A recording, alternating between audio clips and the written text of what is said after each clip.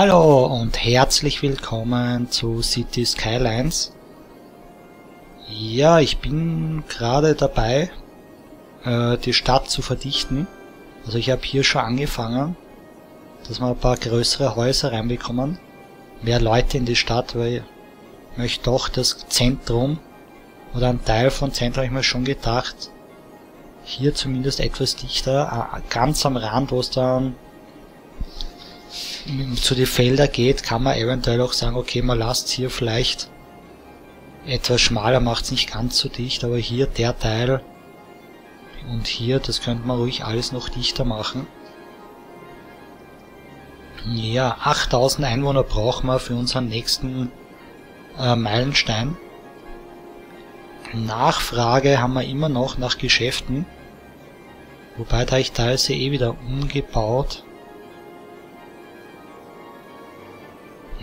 Und auch schon die, die ganzen bestehenden Geschäfte schon verdichtet. Das kann man hier auch noch machen.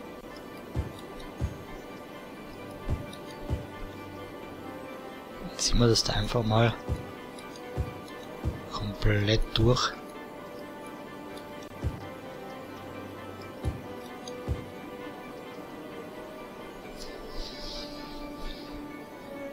Ansonsten, wie schaut's denn aus mit den Bedürfnissen? Industrie geht sehr gut, Gewerbe, ja, geht. Wohnungen haben 80%. Nicht perfekt. Ah, da gibt's ein paar, die sind unzufrieden. Gebäude ist nie in dich besiedeltes Gebiet. Gut, da wohnt aktuell auch niemand drinnen. Da wohnt auch noch niemand, also die neuen Häuser, die noch nicht besiedelt sind. Wie schaut's eigentlich mit unserem Verkehr aus? Ah, okay, da ist doch einiges jetzt los in der Zwischenzeit. Bei der Einfahrt in die Stadt. Könnten wir auch mal schauen, ob wir da noch irgendwas optimieren können. Wobei, groß und ganzen der Verkehr fließt. Die meisten wollen hier nach hinten ins Wohngebiet hinein. Schauen wir mal, ob wir da vielleicht doch noch was umbauen können. Gewinne 2,7 ist jetzt nicht, sag ich mal, so berauschend. Da müssten wir auch mal schauen, ob wir da nicht noch... Müssten wir auch bei der Einnahmenseite wieder ein bisschen schauen, dass Geld reinkommt. Aber durch, ich sag mal, durch die Steigerung der Einwohnerzahlen steigen natürlich dann auch die die Steuern. Aber hier staut es halt doch ein bisschen. Ich meine jetzt nicht ganz extrem. Aber hm, wir könnten natürlich die Straße hier natürlich verbreitern.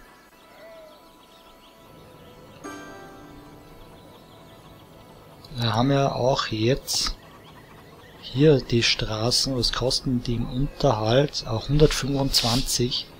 Kosten 1,6 pro Woche. Ja gut, das würde ja fast noch gehen.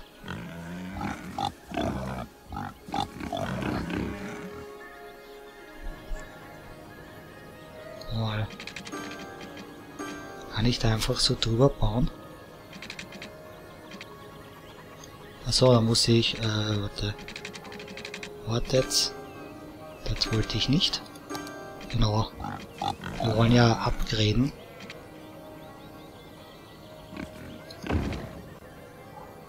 Schauen wir mal, ob wir da ein bisschen zumindest hier ein bisschen mehr unterbringen.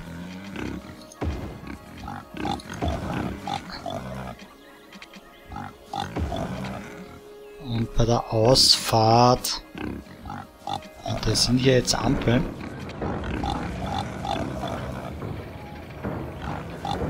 Ich glaube, da haben sich Ampeln gebildet. Das wollen wir natürlich nicht haben.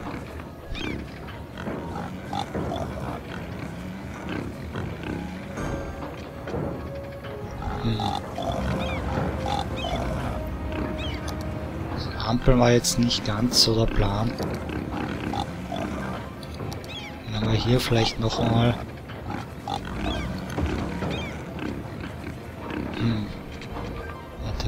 welche Strecke oder war das die? Nee. Ich suche gerade die Strecke, die ich da vorher hatte.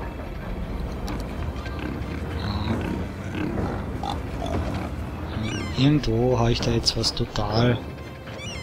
Oder ist das hier noch Autobahngebiet?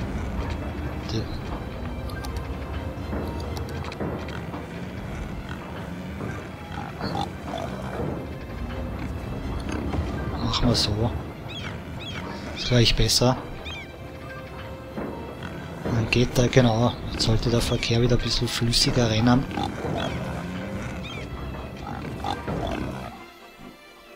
Hm. beim Rausfahren geht's ja, da haben wir nicht so das Problem. Aber beim Reinfahren haben wir das Problem. Oder wir bauen komplett um. Dass wir eventuell doch einen Kreisverkehr an der Stelle brauchen.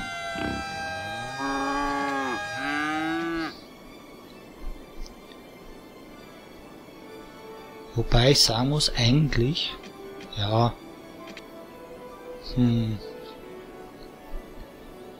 weil viele wollen wirklich hier rüber, beziehungsweise einfach ins Industriegebiet. Hm. Überlegung wäre auch, um ihnen irgendwo eine Abkürzung bieten könnten. Dass sie schneller reinkommen. Beziehungsweise für die Industrie Oh, wir haben Wasserprobleme. Eigentlich... Ah, doch. Weil ich einfach vergessen habe aufs Wasser. So...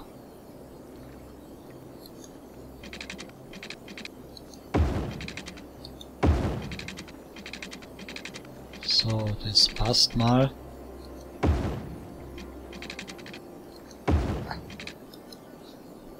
Brauchen wir hier noch Wasser.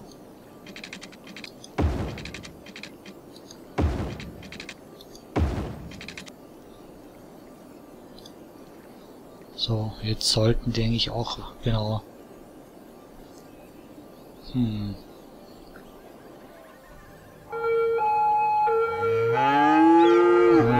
Da ist doch mehr los, als ich dachte. Da kommen wir von der Autobahn. Der kommt richtig. Das staut sich schon bis da nach hinten, der Verkehr.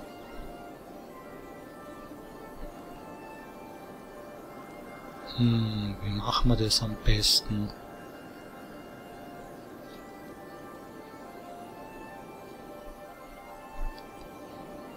Eine, eine Möglichkeit wäre wirklich, dass man sagt, man bietet denen hier eine Möglichkeit, dass die da schneller quasi reinkommen und gar nicht über die Kreuzung fahren müssen. Wie haben wir es denn hier gebaut? Da ist eine Einbahn, die geht nur in die Richtung. Das heißt, da kann man eh nur rein, aber nicht raus. Wir könnten uns auch probieren, dass wir uns hier einfach anhängen. Das wäre auch eine Möglichkeit. Dann wären wir, was haben wir denn da? Einbahnstraße, Geschwindigkeit 40, Geschwindigkeit 40, zweispurige Einbahnstraße mit Gras. Gut, wir brauchen eigentlich eh noch. So, ja. Upsala. Dann schauen wir mal.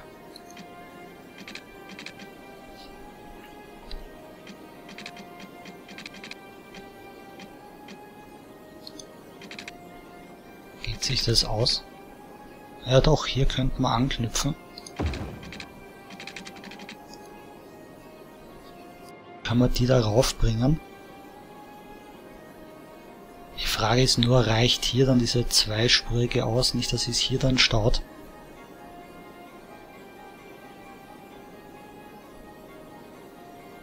Aber es sollte eigentlich passen. Das können die normalen Autos fahren jetzt hier rein und die anderen können eben vorher schon, haben hier schon die Möglichkeit, quasi die, die direkt da rein müssen, dass sie hier fahren. Und die anderen, die hier nach hinten müssen, die werden wahrscheinlich eh weiterhin über die Kreuzung fahren. Aber wie wir teilen, na, die, ja, schaut besser aus. Jetzt fahren hier die ganzen LKWs. Und hier im Großen und Ganzen eigentlich nur noch die Autos. Das heißt, wir haben den Verkehr jetzt gut geteilt.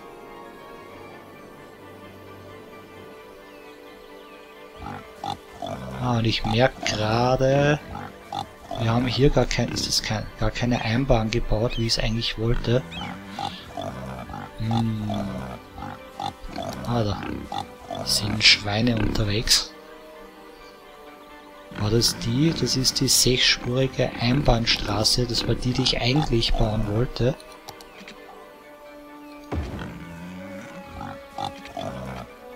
Ich wollte hier genau eigentlich eine Einbahnstraße, eine sechsspurige, in die Stadt rein.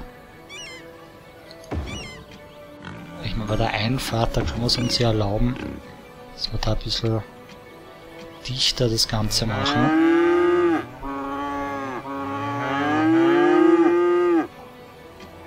Ausfahrt, da geht's ja eigentlich, weil raus ist der Verkehr nicht ganz so stark. Okay, hier ist jetzt die Frage... Das ist ja, was haben wir gesagt, das ist eine zweispurige. Vierspurig gibt's ja leider nicht. Es gibt nur die sechsspurige. Vierspurige Straßen, aber es gibt keine vierspurigen Einbahnstraßen. Ah, okay, jetzt fahren es doch wieder alle da. Jetzt fahren doch wieder viele hier unten. Hm. Na gut, wir haben hier einen Flaschenhals quasi erzeugt.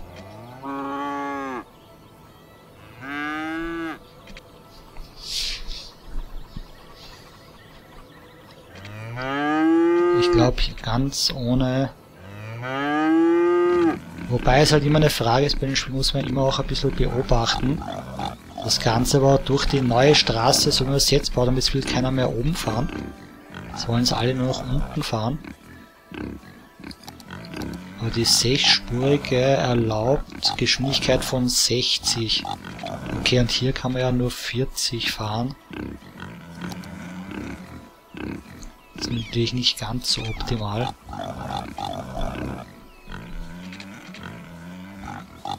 Die, den oben, die Brücke, die könnte man theoretisch, die könnte man theoretisch verbreitern, damit wir da mehr Autos drüber kriegen.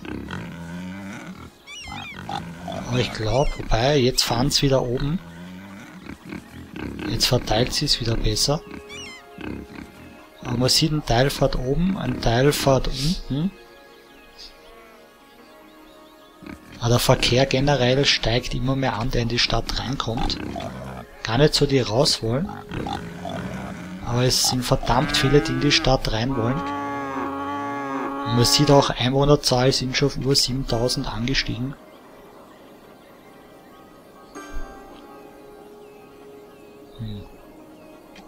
Gewinn ist auch wieder auf über 4000 hochgeschossen.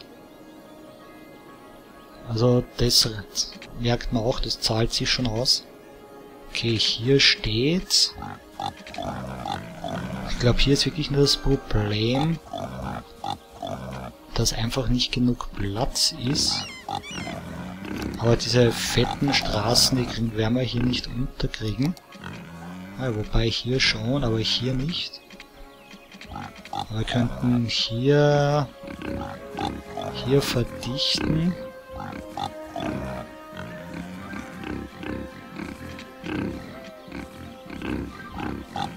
Also das könnten wir, da geht es ja eh nur in eine Richtung. Genau, die dürfen ja nur rauffahren. Das heißt, wir können hier das breiter machen. Mit einer Einbahn.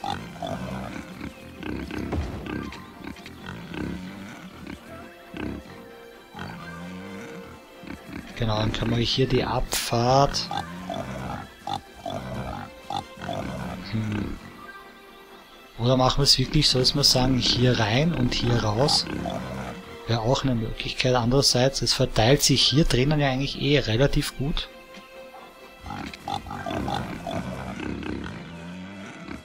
Ah ja, und die Fahrspuren, da teilt sich jetzt auch besser auf, die die rechts und links abbiegen wollen.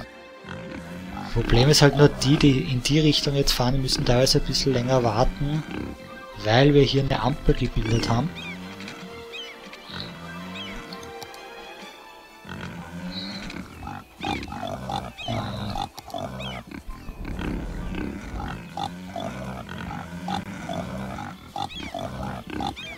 Ja, aber gut.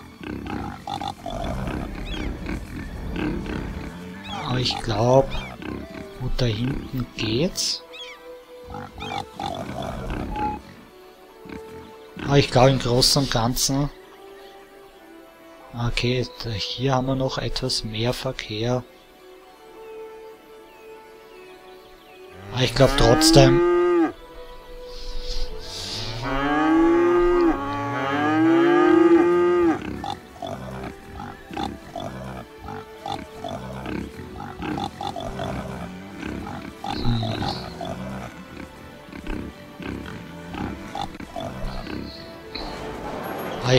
Großen und Ganzen ist es noch okay. Weil zumindest der Stau, der bis da nach hinten gegangen ist, den haben wir definitiv nicht mehr. Und das dürfte einfach noch der Reststau sein, der noch übrig ist. Na, wie schaut's da aus? Da ist eigentlich soweit auch in Ordnung. Kann man eigentlich auch nichts sagen. Muss man ein bisschen abwarten, wie, wie sich das weiterentwickelt.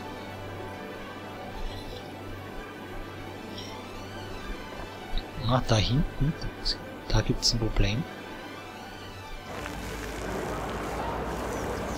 Hm. Schauen wir mal, was wollen die von uns? Nicht genügend gebildete Arbeiter. Gebildete? Haben wir ein Bildungsproblem? Schauen wir gleich mal unsere Schule. Okay, reicht die Schule nicht mehr aus, um die Leute gescheit auszubilden. Also wir haben hier eine, eine, na, eine Oberschule, aber wir haben hier keine. So, wo haben wir denn die, da haben wir die Grundschule, dann könnte man ja die Oberschule eigentlich mehr oder weniger gleich daneben bauen. Würde sich ja irgendwie anbieten. Das müsste den Bildungsstatus relativ schnell eigentlich verbessern. Und wir haben ja hier auch unser Bussystem. Das heißt, müssten die Leute eigentlich auch recht gut hinkommen. Ah hier geht's mit dem Verkehr. Aber hier haben wir noch etwas Probleme. Hier könnte es noch etwas flüssiger laufen.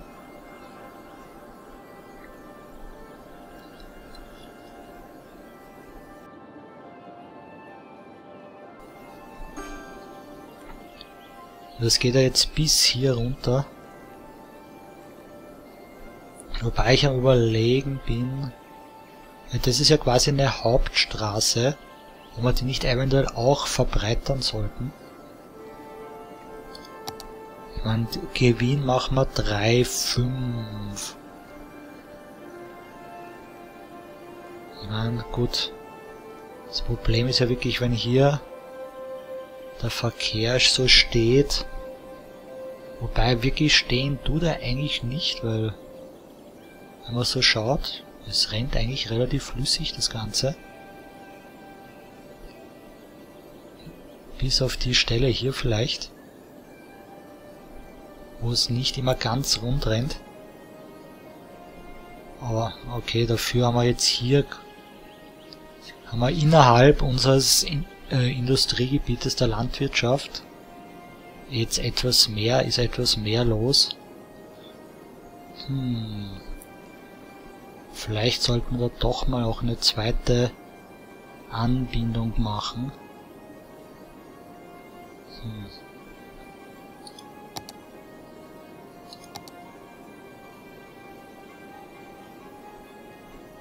Gibt's denn da irgendwelche Vorschläge autobahnmäßig, na, wir uns selber was basteln, aber könnten wir mal überlegen, wie machen wir das am besten und wo knipsen wir uns an.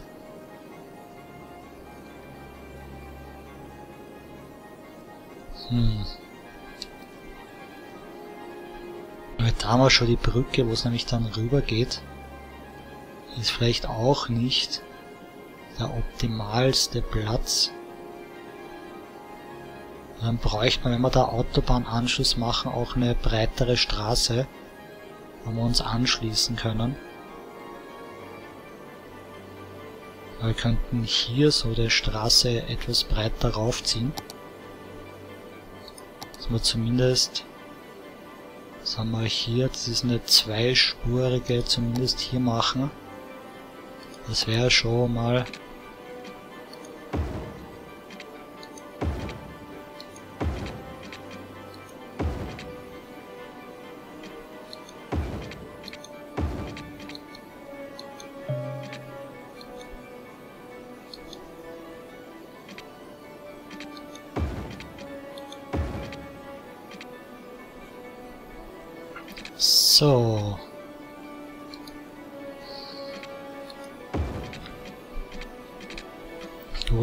ist er noch relativ leicht.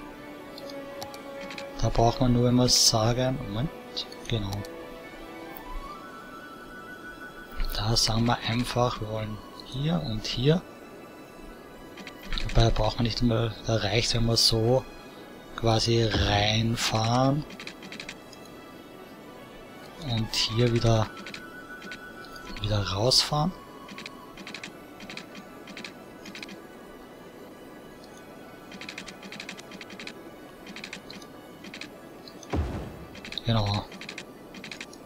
Kann man hier, dann kann man hier.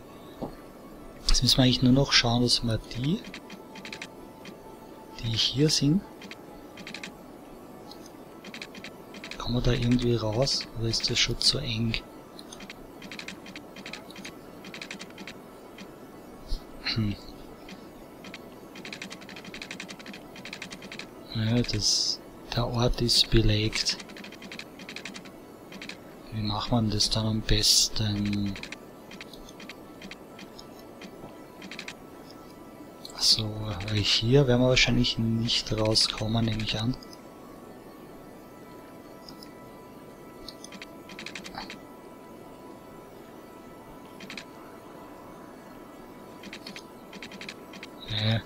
Hm. Na gut, dann machen wir das anders. Dann nehmen wir hier mal. Reißen wir hier mal den Betrieb vorläufig mal weg. Jetzt sollten wir da eigentlich normalerweise problemlos. Dass wir jetzt hier sagen, wir gehen hier rauf.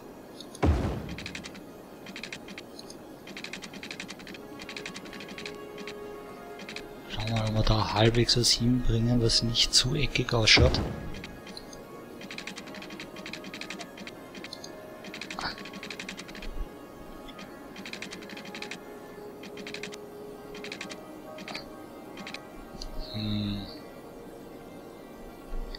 Kann man das so bauen?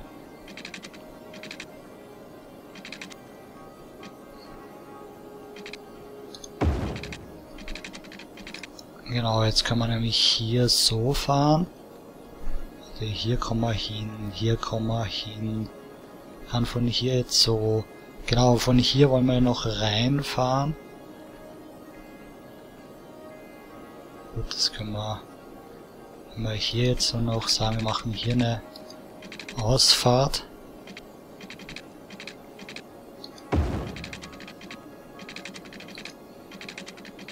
Hm. Gut, meine Brücken werden keinen Schönheitspreis gewinnen. Das sehe ich jetzt schon.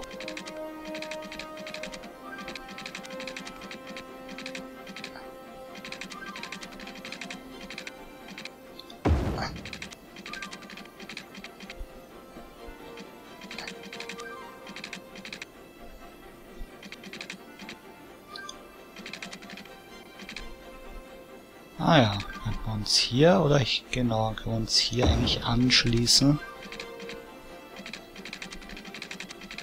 Ja, ja. Ist jetzt nicht super schön geworden, aber... ich glaube, kann man so nehmen, oder? Dann haben wir jetzt neben der Ein- und Ausfahrt, haben wir jetzt hier noch eine.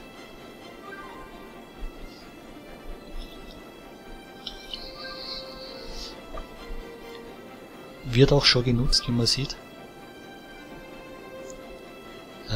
Also als Auffahrt zur Autobahn wird es auf jeden Fall genutzt.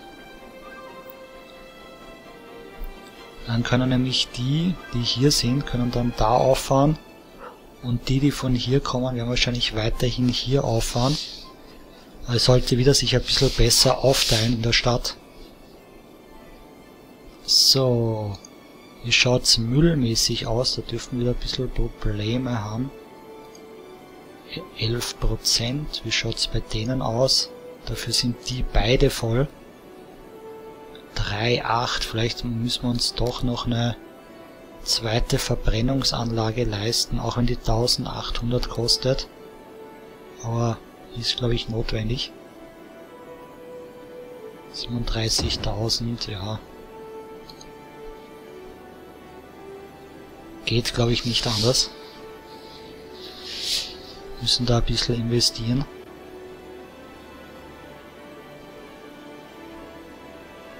Ja, wie schaut's denn jetzt aus von der Verbrennungskapazität? Na, wahrscheinlich mit einer dritten wären wir wieder im gelb-grünen Bereich. Aber so viel, so hoch sind unsere Einnahmen noch nicht wirklich. Da müssen wir erstmal abwarten. Genau, ansonsten können wir noch über das Budget noch schauen, wobei da ich beim Müll habe ich schon 120% eigentlich eingestellt. Da haben wir eh schon erhöhtes Budget. Ja. Wobei, da ist jetzt überall Müll, Müll, Müll, Müll, Müll. Das heißt, die müssen wir auf jeden Fall mal entleeren gehen. Die sind beide voll. 1,8. Hm.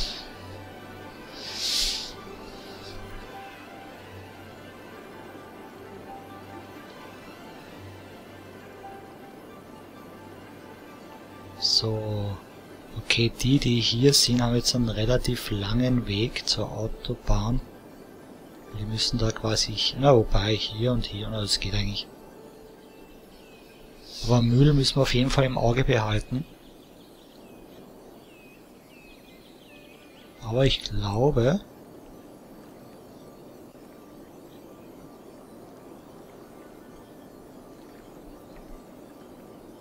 Der Verkehr schaut jetzt deutlich besser aus.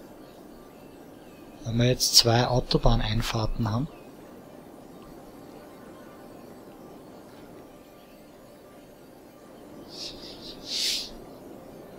Werde ich eventuell vielleicht offline mal probieren, noch irgendwie schöner zu bauen, das Ganze, weil es doch wirkt teilweise jetzt ein bisschen eckig. Zum Beispiel hier, aber alles mit die Kurven ist bei mir teilweise immer noch so, dass die nicht immer, immer so schön geschwungen ausschauen. Okay, wie schaut's hier bei unserer Kreuzung aus? Da eigentlich voll okay. Wobei ich gerade überlege, wenn da weniger Verkehr ist. Ah, wobei. Ich habe jetzt überlegt, ob ich vielleicht die Brücke wieder verkleinern soll, aber braucht man nicht wirklich. So. Wie schaut's mit den Bedürfnissen aus? Die Leute wollen wieder ein bisschen mehr ja, da ist Müll schon ein Problem, dass die schon sauer sind, deswegen. Sollte sich aber demnächst lösen. Einnahmen steigen auch wieder auf 2,2. Gut, wir haben ja jetzt relativ wenig Müllwagen im Einsatz. Gut, ich meine, die Verbrennungsanlage bietet uns 27 Kapazität, Kapazität kriegen wir dazu. 1, 8, 2, 4. Ich glaube, eine leiste ich mir noch. Das ist einfach notwendig. 37.000. Es war einfach notwendig. Um den Müll besser unter Kontrolle zu kriegen.